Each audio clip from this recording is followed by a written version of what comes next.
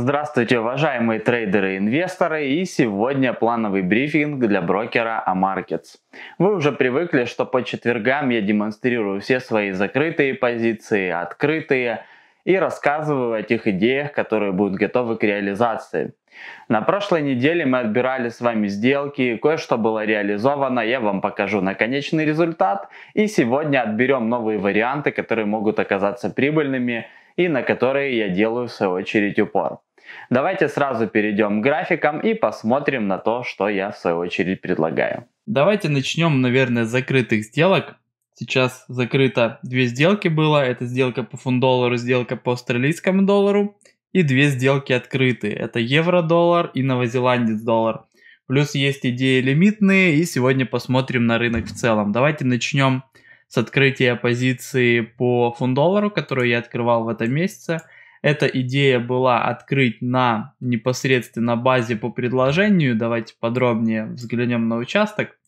Идея была какова? То, что цена вышла из скопления, вышла в сторону импульса на продажу, есть база скопления, но я поставил свой риск ровно за значение. Нужно было поставить его немножко выше, я бы остался в позиции. То есть я потерял позицию из-за того, что немного решил сэкономить на стоп-приказе. Здесь не совсем по правилам его поставил и потерял позицию. Мог бы остаться в сделке, и она бы вышла в итоге в прибыль.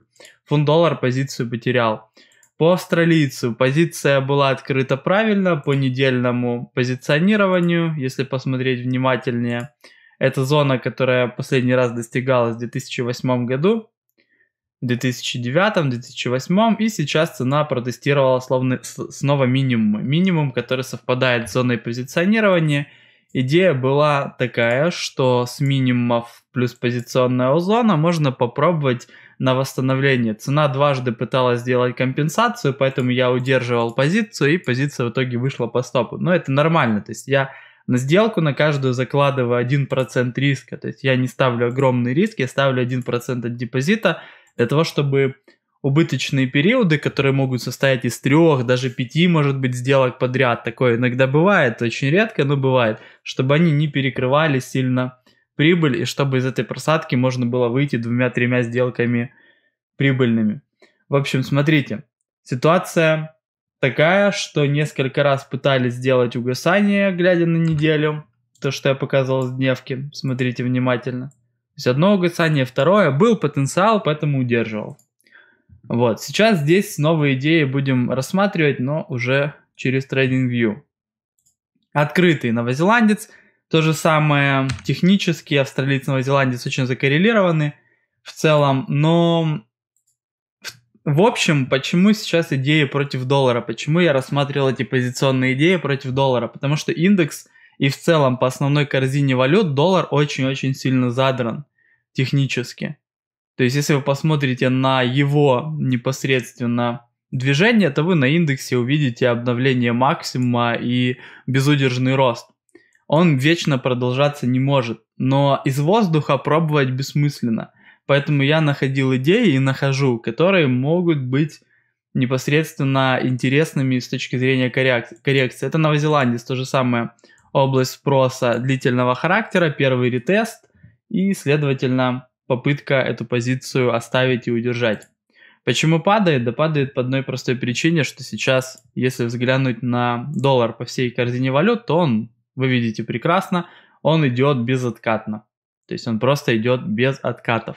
Именно поэтому все эти инструменты продолжают падать, продолжают идти вниз. И открыта позиция по евро-доллару. То же самое позиционная область.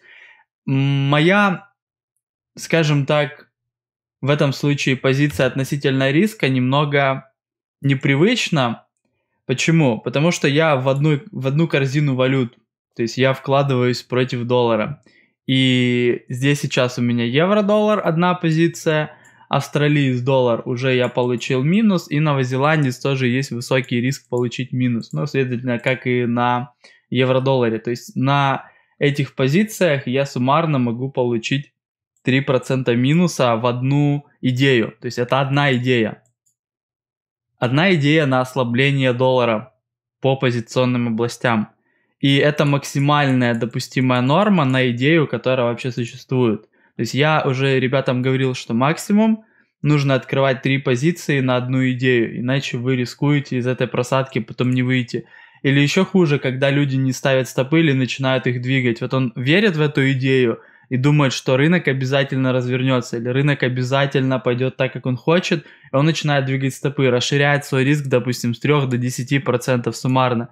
И вот это самая большая ошибка. Я принимаю убыток, то есть я заранее готовлюсь к этим идеям. Если вдруг что-то идет не так, то есть я понимаю, что я заранее ставил этот стоп, я заранее предусматривал, что этот риск может быть получен. Это очень важно, вы должны это запомнить, что убыточный период, убыточный месяц, что там у вас может быть убыточным, не имеет значения. Прошлый год я закрыл в прибыль, закрыл его под мониторинг, вы все прекрасно видели. Этот год э, у меня январь был прибыльный, февраль сейчас перекрывает январь, выходит в минус один, если я закрываю позиции. То есть суммарно два месяца дают минус. Но это не страшно. А если делать так, как я сказал, не нужно делать, то есть двигать стопы или вваливать все деньги в одну идею, что еще хуже, это чревато тем, что ваш счет потом не восстановится.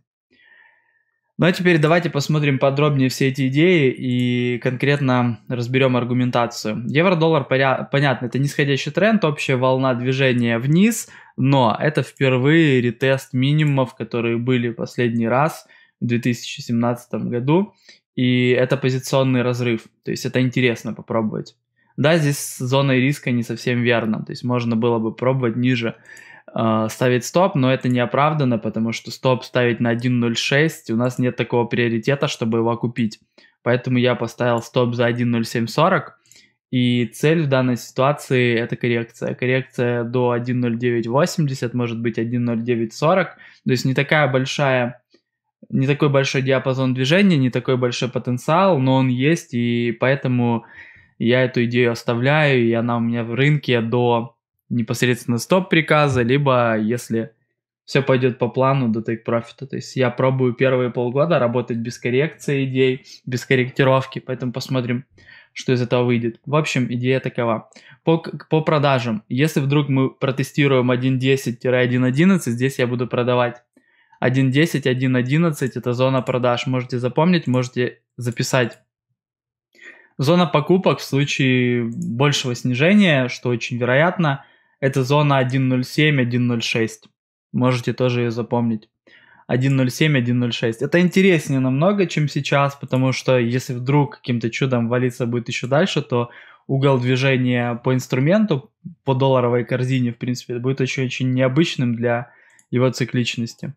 Фунт доллар. Здесь я сказать ничего особо не могу. Да, потенциал снижения. Да, он подтвердил наличие продавца в рынке, но здесь ограничен диапазон движения 28 примерно, поэтому сейчас неинтересно с моей точки зрения. Вот доллар иена пришел в максимум, и то же самое намекает на то, что еще раз попробую влезть в продажу по доллару, но здесь уже становится вопрос, что взять, доллар франк или доллар иена. С одной стороны, у доллара иены потенциал движения 112-110, то есть 200 пунктов, и при том риске, который здесь есть, это может быть оправдано.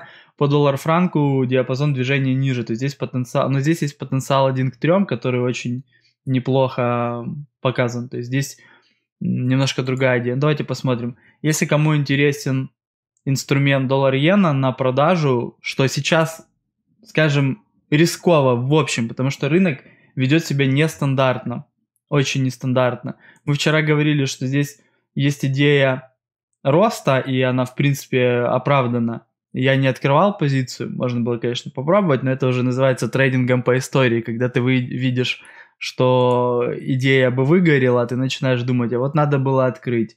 Но это так не работает, то есть если у тебя в плане прописано в твоем журнале, что можно эту идею реализовать, то ты ее реализуешь. Не написано, ты ее не делаешь. Здесь 112-112.50 зона продаж доллар-иена. Приоритет на 110. Доллар-франк, зона продаж 98.60, 99.10, то есть 50 пунктов стопа и take profit в районе 97.10, 97.20. Тоже идея неплохая, она имеет потенциал и ее минус единственный это то, что сейчас в целом непонятно, непонятна направленность доллара, почему она настолько резкая, почему она идет безоткатно. Золото я пока ничего бы не рекомендовал делать. Евро-иена, зона покупок гораздо ниже, обсуждать даже не будем. Новозеландец я в свою очередь буду удерживать до получения стопа, но опять же, потому что это есть трейдинг. Если ты заранее отбираешь риск и начинаешь корректировать, это очень большая ошибка многих, когда они видят, что идет к минусу, они думают, так, сейчас у меня, допустим, минус 100 долларов, а здесь я поставил минус 150 долларов, может мне сэкономить эти 50 долларов и закрыть сейчас – сделку в убыток, я сохраню 50 долларов. Это неправильный подход. Почему? Потому что если вы ставите стоп, вы заранее его аргументируете чем-то. И аргументируете тем, что именно эта зона, в которой вы располагаете как э, располагаете вероятную идею покупки, она сдерживает цену. Следовательно, стоп стоит там, где это будет уже не актуально. То есть вы же так размышляете, правильно? А если вы в зоне покупки начинаете закрывать, цена потом может развернуться, и вы подумаете – Зачем я закрыл? У меня же заранее было все аргументировано. Вот это очень-очень тоже важный нюанс. Канадец. Зона покупки есть очень хорошая 3070-1.30. И скорее всего 3070-3020, но я бы все-таки ставил на 1.30, а то и 29.90. Но это уменьшает приоритет, поэтому для тех, кто хочет краткосрочно рассматривать, смотрите 3070, 3020 австралиец падает. Если посмотреть на него по месяцу, то у него вообще потенциал падения вплоть до 64. То есть у него потенциал падения 64. То есть ближайшая позиционная зона, из которой можно покупать на удержание, это 64. То есть если говорить именно о среднесроке, о полноценном. Здесь не получилось. Будем еще смотреть за 66, может быть, какое-нибудь угасание будет. Э, я этого делать не буду, потому что я уже отдал этой идее процент э, от депозита. Но в целом, если будет что-то интересное, мы посмотрим. Нефть. Нефть пытается расти, зона покупок 51.49. Если начнется снижение от 55, можно пробовать покупать. То есть, если будет вот так, 51,49, наверное, даже 50 с половиной я бы взял, 50 с половиной-49 с половиной.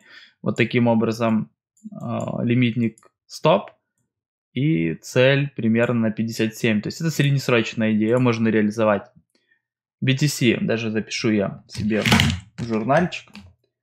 Это CL, WTI, CL 50 с половиной, 49 с половиной покупка. Обязательно уточняйте. Дальше, дальше. По акциям. Давайте, наверное, биткоин сейчас сразу. По биткоину что? По биткоину пока есть откатные зоны, вот эти самые, их нужно работать, но они работают первично. То есть первый ретест прошел, не пошел дальше импульс на обновление, а идет наоборот на снижение. Смотрите за зоной пробоя, то есть здесь 9200. Если будет падать ниже 9200, у вас открывается потенциал снижения до 8000. То есть если вы краткосрочно спекулируете на короткие, вы можете вот эту зону использовать для того, чтобы спекулятивные сделки в, короткие открыв... в короткую открывать. Зона 8000 тире, наверное, 7800 – это зона вероятного роста. То есть е- если есть цикл, если он продолжается, то 60% отката по циклу – это еще реальная зона возможных длинных. То есть у нас может быть таким образом характер движения. Пробой, чтобы сбить толпу из длинных, которая понабирала их. И отсюда может быть реализация дальнейшего движения. Если ее здесь не будет, идет снижение, то вот здесь покупать тоже не нужно. И если ломается цикл, то скорее всего идет обновление минимума. Таковы законы рынка. Да, биткоин, да, криптовалюты не совсем техничные инструменты, но позиционирование на них работает хорошо. Поэтому вот на эту часть можно обратить внимание по Америке. Америка идет, и Америка растет, продолжает, несмотря на какие-то ожидания кризиса. Не знаю, как там поживают те люди, которые шортят индекс, либо которые шортят акции, наверное, очень грустно им. Но суть в том, что если кто не открывает на растущем рынке длинные, то есть нет идеи заработать немного краткосрочно, а есть идея заработать среднесрочно, то это в таком случае только ожидание откатов, то есть любая откатная зона. Если идея работать краткосрочно, то на растущем рынке ищите те акции, которые хотя бы немного корректируются, чтобы их можно было купить, либо которые стоят в стагнации. То есть ваша идея может быть двух в двух вариантах, то есть либо это акции, которые корректируют, вот, допустим, был какой-то уровень, она корректируется сюда, вы здесь покупаете с целью обновления, допустим. Либо ситуация вторая, акция растущая, но она начинает стагнировать, то есть в таком случае вы тоже можете ее пробовать покупать, потому что и в таком и в первом, и во втором случае у вас есть зона риска и есть сценарий, по которому акция может продолжить движение. То, что падает на растущем рынке, покупать ни в коем случае не нужно, потому что есть риск падения рынка, и в таком случае эта бумага полетит с ускоренной, э, в ускоренном формате, поэтому очень аккуратно. Я рассматриваю зоны покупок для себя, это 350-300 на случай коррекции. Краткосрочно, кто торгует, можете смотреть 3300 3200, зону то же самое по бумагам. Из интересного Tesla сейчас все отслеживают, смотрят, что будет с Теслой, потому что она обновляет максимум бесконечно. И вот пока она обновляет максимум, ваша задача работать просто коррекционные зоны. То есть вы видите, что у нее 800-750 коррекция, упала 800-750, попробовали купить. Не вышло, ждете более низких коррекций, это 600, 500, 50. Все, это самое интересное, что можно придумать акции интересно работать, акции порой даже любопытнее технически, чем валюта или криптовалюта. Но в моем случае я торгую только коррекционные тактики по акциям, поэтому довольно редко. Ну а если вдруг появляется возможность коррекционно их купить, много, э, я практически все вгоняю в акции, чтобы увеличить капитал и капитализацию счета в целом. Вот такие вот дела. Всем, ребят, спасибо за внимание. Не забывайте подписываться на канал Брокера iMarkets, находить мой канал в описании к этому видео, есть на него ссылка, подписываться, смотреть материалы, обучающие по трейдингу. Всем успехов в торговле, не забывайте, что трейдинг это тоже труд, не забывайте, что трейдинг сопряжен с рисками, поэтому старайтесь, старайтесь их контролировать и будете держаться на плаву и будете зарабатывать. Всем спасибо, всем пока.